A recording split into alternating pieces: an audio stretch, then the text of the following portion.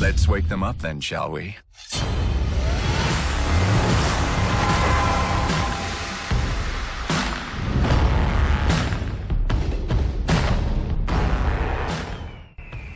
Jeśli jeszcze nie przejedliście się serią Assassin's Creed, to w tym roku czeka Was kolejna premiera następnej już odsłony. Wiktoriański Londyn, mroczne zakątki, do których zapuszczać woli się nawet policja oraz zbiry spod ciemnego znaku. Wszystko to można będzie zobaczyć w Assassin's Creed Syndicate, ponoć najbardziej rewolucyjnej i najlepszej części wszechczasów. Jak to się ma do przedstawionych materiałów? Sprawdźmy to razem. Miejmy nadzieję, że zostaną wyciągnięte wnioski z poprzedniej odsłony, która przyczyniła się do utraty sporej części majątku giganta. Kilka dni temu Quebec postanowił odsłonić wreszcie karty i przedstawić nam Assassin's Creed Syndicate, pierwszą współczesną odsłonę serii. Rzecz cała będzie miała miejsce w Londynie 75 lat po wydarzeniach z Unity, czyli w roku 1868. Jak wiadomo, był to okres burzliwej rewolucji przemysłowej, podczas której zacofane społeczeństwo wkraczało w nową erę rozwoju. Krajem przestali rządzić królowie, od teraz liczyły się wyłącznie pieniądze i posiadany majątek. Doprowadziło to do rozwarstwienia się społeczeństwa i podziału na biedotę oraz burżujstwo. Młodzi ludzie, oczywiście z tej pierwszej warstwy, mieli do wyboru ciężką pracę lub nielegalną działalność. Tu można dopatrywać się pierwszych kroczków gangsterstwa lub, jak kto woli, syndykatów. Jak na razie wiadomo, naszym protagonistą będzie młody Jacob Fry, urodzony w londyńskich slumsach. Wraz z siostrą nie godzą się na niesprawiedliwe podziały społeczne i chcą równości. Główną mu nowością będzie możliwość grania dwojgiem bohaterów, Jacobem i siostrą bliźniaczką Evie. Czyżby Ubi zainspirowało się GTA V i możliwością prowadzenia rozgrywki trzema bohaterami?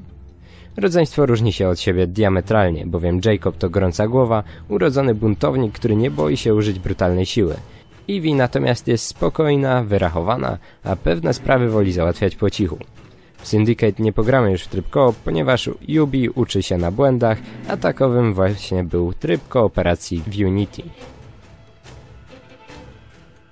Wraz z nowym typem bohatera, londyński brutal, otrzymamy nowy zestaw uzbrojenia oraz zupełnie inny system walki.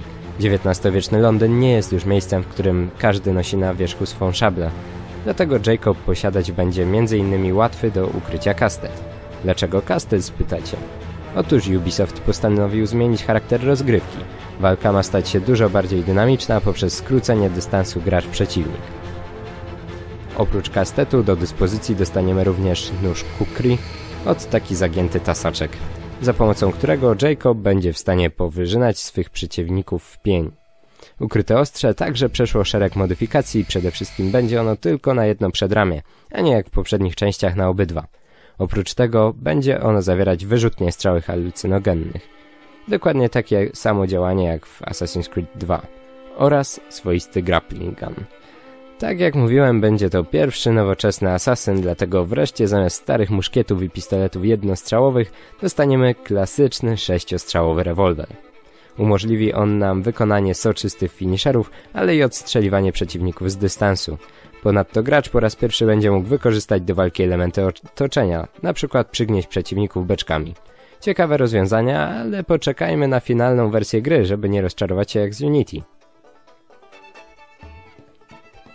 Zupełnie inaczej zbudowany świat ma spowodować zwiększenie tempa rozgrywki.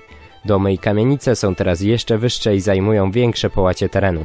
Często naszemu bohaterowi nie będzie się opłacało wspinać na nie, tylko omijać je za pomocą nowego środka lokomocji. Powozu.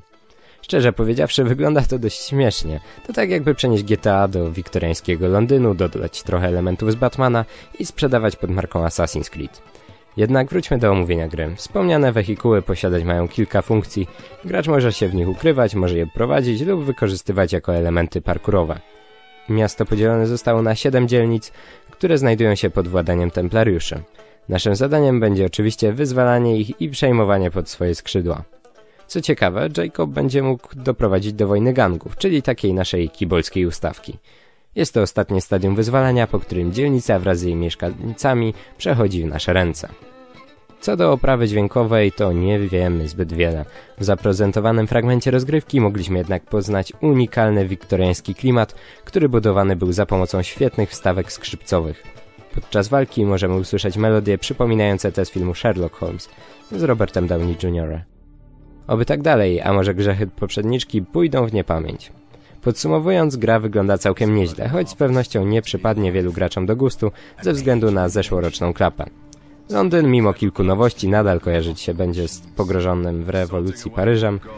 Owszem, powozy otwierają nowe możliwości, więcej dowolności, przyspieszenie rozgrywki, ale czy to ma odświeżyć serię? Jak na razie w Assassin's Creed Syndicate znaleźć można kilka elementów niemal żywcem zapożyczonych z tytułów takich jak GTA czy Batman. To chyba również nie najlepszy sposób na wielki powrót. Jednak wszystko zweryfikują gracze po tegorocznej premierze, która jak zwykle odbędzie się w czwartym kwartale 2015 roku.